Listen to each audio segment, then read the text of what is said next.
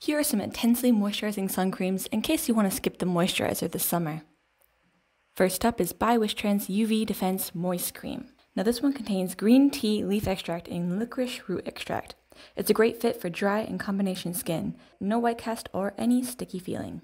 Next up is Isntree's Hyaluronic Acid Natural Sun Cream. Now this one contains 8 different types of hyaluronic acid. This one's a physical sun cream, but don't worry, the white cast is minimal and blends in quick. And lastly, the lighter of the bunch is vegan sun cream from Hyggee. It has beetroot extract and marine algae extract.